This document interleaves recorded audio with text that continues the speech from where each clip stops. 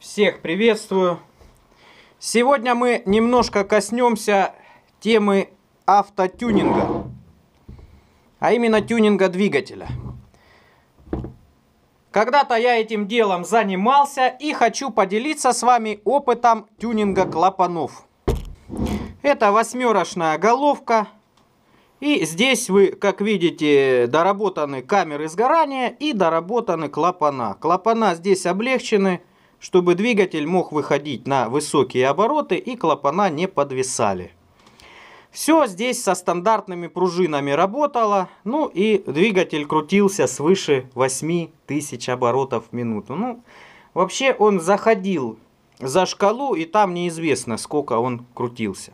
В общем, как вы видите, клапана здесь имеют зеркальную поверхность. Сейчас я разберу, покажу вам как сие дело выглядит. Здесь все так страшно выглядит, потому что э, в двух цилиндрах вылетели пальцы из поршней. Ну, то есть, как вылетели, сместились и начали драть цилиндр. Поэтому начало гнать масло, и вот эти два цилиндра, они черные такие. Ну, в общем, там износ был дикий. Машинка была такая, бодренькая. Значит, сейчас снимаю клапана и показываю, как они выглядят. Машины той нету уже давным-давно, но вот головка осталась. Валяется она у меня кругом. Головка, кстати, в общем-то рабочая. Только нужно поменять втулки клапанов. Далее вы увидите почему. Смотрим, что у нас здесь. Ну, во-первых, распредвал. Никаких особых задиров нету здесь. Ну, то есть рабочие такие канавки. Все это дело было не новое. Я все делал. Вообще это тюнинг был старой головки. Для экспериментов, так сказать.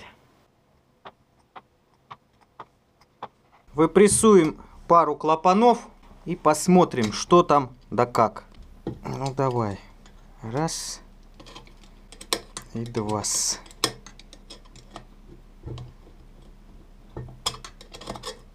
Оп. Один. А теперь второй. Методом хирургической операции. Кстати, шайбы вот эти здесь тоже обточенные. Тоже обточенные, я не помню на сколько грамм они меньше, но вот здесь они обточены и заполированы. Заполировано не только для красоты, так меньше вероятность образования трещин. Значит, смотрим, что здесь за клапана. Чтобы понимать, как их тюнинговать, нужно ж увидеть, правильно? Ну, в принципе, не особо болтается. Вот раз. Рассмотрим позже повнимательней. Этот болтается, как вы видите, весьма серьезно. Вот два. Смотрим, что там у нас в каналах.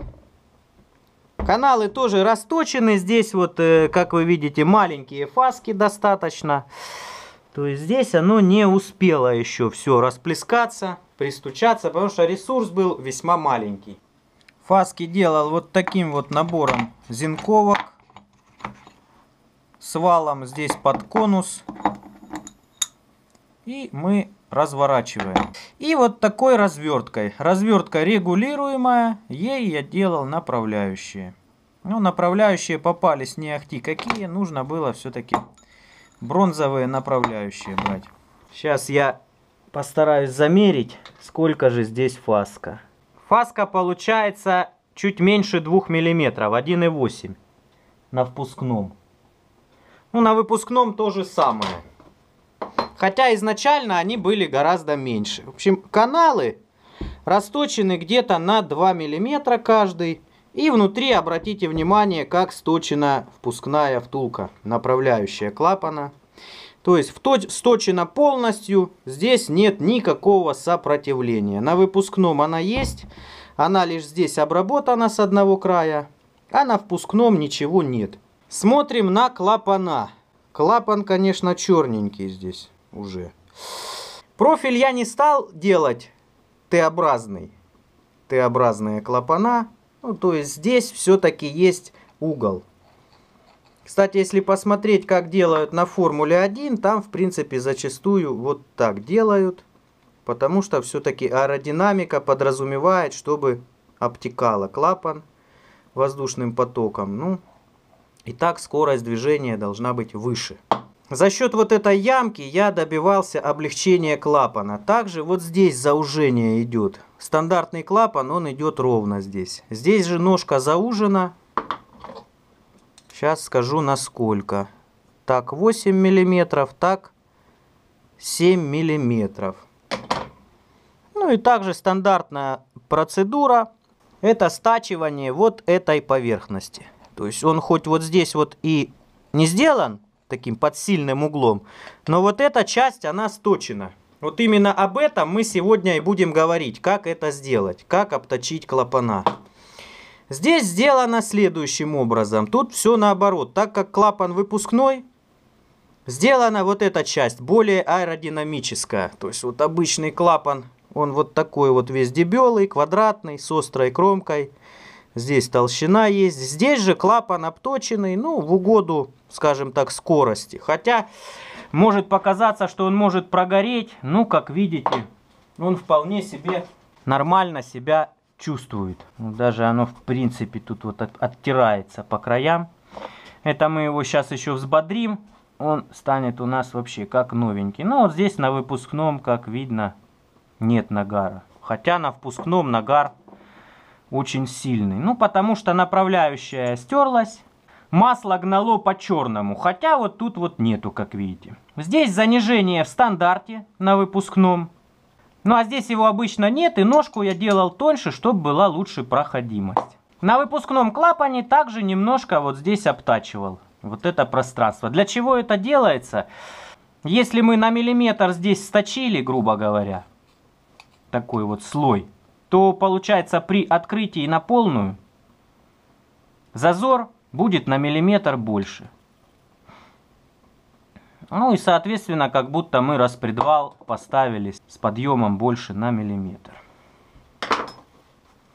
В общем, конечно, там не такая прямая зависимость, но она есть. И делается это именно для того, чтобы увеличить пропускную способность клапанной системы. Ну и самое интересное, это полировка клапанов. Они выполнены из довольно-таки хитрого металла и жаропрочный он, и довольно-таки твердый. Но, тем не менее, я вам покажу, как очень легко их можно отполировать. Вот видите, выпускной клапан, на нем даже не задерживается нагар. Хотя это как бы ему не свойственно. Вот так это все выглядит. Теперь, как вы, наверное, уже догадались, берем болгарку и погнали.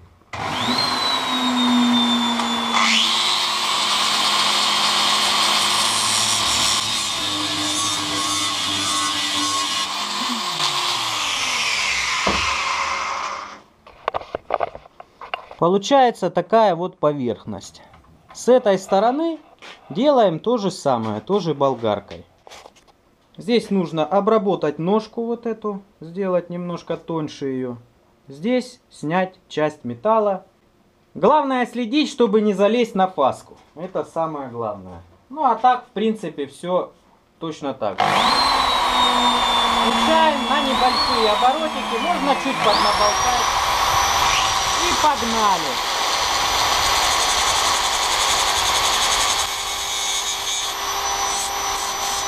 Я уже, честно говоря, забыл, каким кругом лучше. Ну, двухмиллиметровым, я думаю, будет лучше всего. У меня, такого нету, поэтому взял зачистной.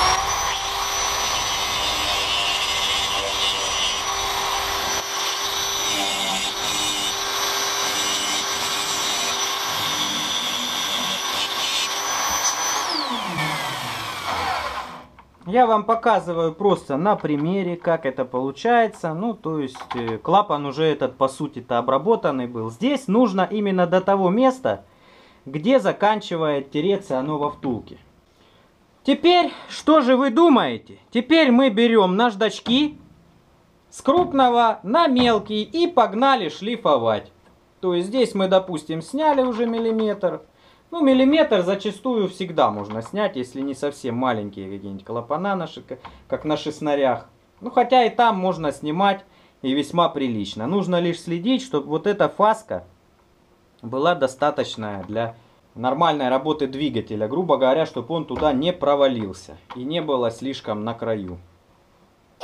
Здесь тоже нельзя слишком заострять, здесь должна быть такая довольно-таки весомая толщина металла. Опять же, для каждого двигателя индивидуально, я уже не помню, честно говоря, надо смотреть, какие там допуски. Ну вот у меня здесь где-то 0,6 миллиметров толщина, 0,7 может быть. После болгарки получается вот такая поверхность. Явно она нас не устраивает. Включаю на повышенную.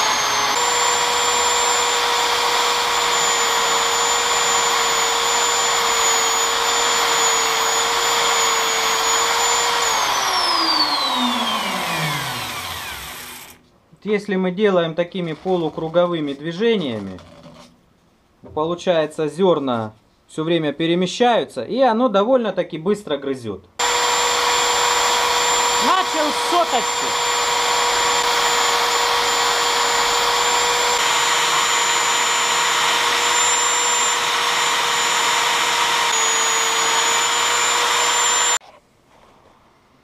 Примерно полчаса, может 25 минут ушло на то, чтобы довести клапан до такого состояния. Он очень горячий. Теперь осталось его отполировать. Полируется для того, чтобы был он аэродинамически более совершенный, скажем так. И чтобы меньше впитывал тепла в себя, потому что шершавая поверхность, она вот такая. И площадь соприкосновения с раскаленными газами, которые образуются в камере сгорания, у таких клапанов выше. Особо это касается выпускных клапанов – чем он более полирован, ну, полированный, скажем так, имеет меньшую площадь. Вот, ну и меньше нагар образуется.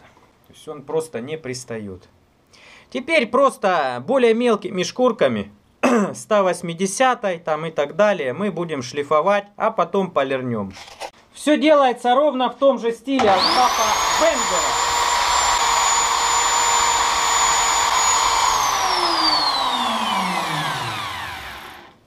Ну, сейчас, естественно, процесс идет гораздо быстрее. Главное сточить первый слой грубый. Также после полировки меньше концентрации напряжения и меньше шансов, что клапан оторвет. Вот так. Вот что получается после 320 шкурки. Теперь берем вот такой специнструмент. Это войлочный круг на болгарку. Я его здесь еще шурупами дополнительно прикрутил потому что он от температуры отклеивается и отваливается, вылетает. Крепим его на болгарку. Это, друзья, поверьте, самый крутой полировальный инструмент в мире. Вот так вот он крепится. Пробуем. Вибрации небольшие. Намазываем пасту Гои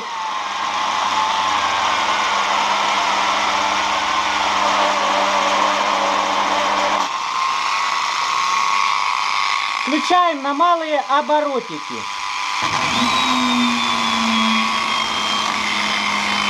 И набалтываем.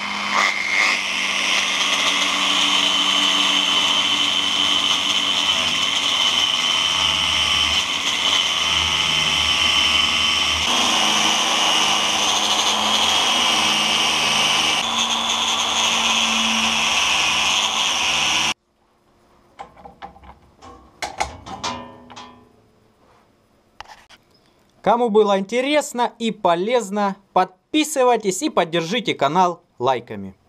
У меня на этом все. С вами был Игорь Негода. Всех благодарю за внимание. И всем пока!